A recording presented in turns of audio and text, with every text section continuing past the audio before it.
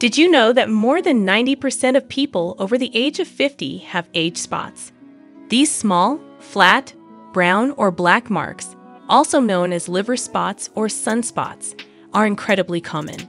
If you're someone who feels self conscious about these spots, you're not alone. Fortunately, there are natural remedies you can try at home to reduce their appearance without resorting to expensive treatments or harsh chemicals. What causes age spots? Before diving into natural remedies, it's helpful to understand what causes age spots. These spots are typically a result of excess melanin production in the skin due to UV exposure over time. Areas of the skin that have been more exposed to the sun, like the face, hands, shoulders, and arms, are the most common places for age spots to develop. While they are more frequent in older adults, age spots can appear at any age if the skin has been subjected to long term sun damage. Natural remedies to fade age spots at home. If you want to remove or reduce the appearance of age spots naturally, there are several simple, home based remedies that have been known to help. Here's a list of some of the most effective options. 1. Lemon juice. Lemon juice is a popular natural remedy for skin lightening due to its high vitamin C and citric acid content. The acidity of lemon juice can help lighten dark spots over time. How to use Apply fresh lemon juice directly to the age spots with a cotton ball. Let it sit for about 20 minutes before rinsing it off with water. Be sure to moisturize after using lemon juice, as it can be drying. For best results, repeat this two to three times a week. But avoid sun exposure right after application, as lemon juice can make your skin more sensitive to the sun. 2. Aloe vera. Aloe vera has been used for centuries to treat various skin conditions. Its allicin content is known for helping to reduce hyperpigmentation, making it an excellent natural remedy for age spots. How to use Cut open an aloe vera leaf and apply the gel directly to the age spots. Leave it on for about 30 minutes before washing it off. You can use aloe vera daily for gradual lightening. 3. Apple cider vinegar. Apple cider vinegar contains acetic acid, which acts as a natural exfoliant and skin lightener. It can help fade dark spots over time and give your skin a brighter appearance.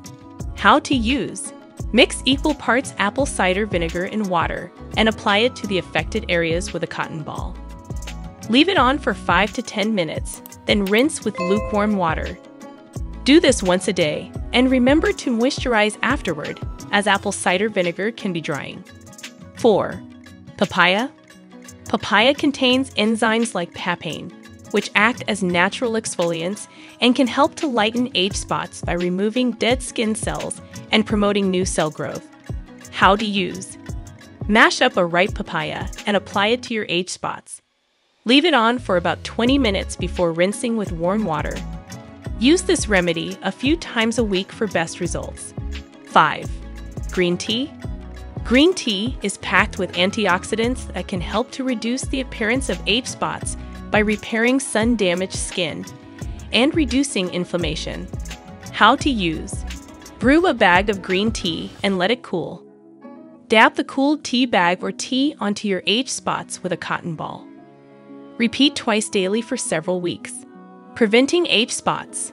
While these natural remedies can help fade age spots, prevention is key to avoiding new ones from forming. The best way to prevent age spots is by protecting your skin from the sun. Here are a few tips. Use sunscreen. Apply a broad spectrum sunscreen with at least SPF 30 daily, even on cloudy days. Wear protective clothing. When outside, wear hats, long sleeves, and sunglasses to minimize direct sun exposure. Seek shade.